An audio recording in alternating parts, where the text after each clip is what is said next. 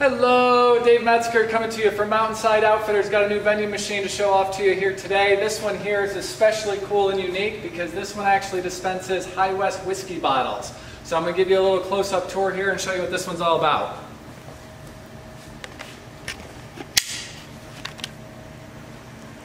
This was originally a Coke machine that this customer wanted redone as High West whiskey, a preferred drink they like to collect. So this has been all rewrapped.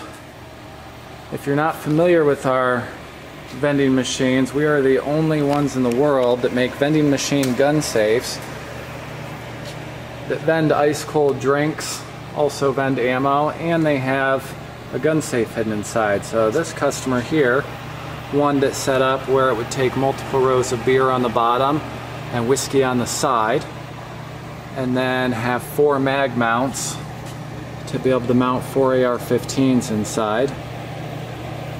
And then we've got glass here on the bottom that you can put things under, such as ammo or whatever.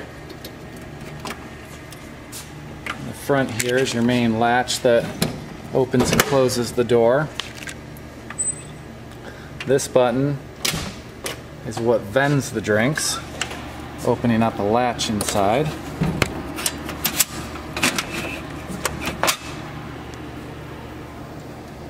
And you get a High West whiskey bottle dispensed out of it.